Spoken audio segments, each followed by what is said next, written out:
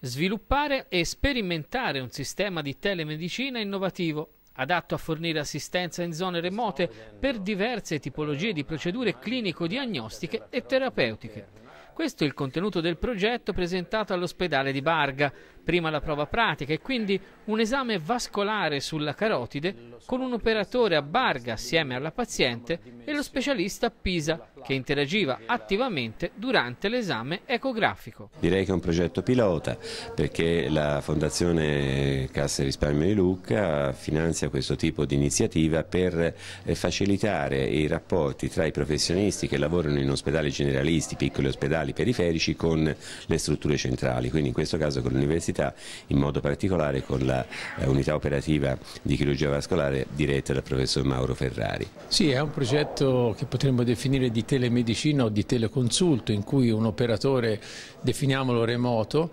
eh, può essere in contatto in questo caso con l'Università di Pisa ma teoricamente anche con altri operatori di altri ospedali per consentire di avere un secondo parere eh, magari da parte di uno specialista con un maggior livello di esperienza. Tutto questo è stato reso possibile grazie al contributo della Fondazione Cassa di Risparmio di Lucca, che da sempre segue con grande attenzione la ricerca e l'innovazione scientifica.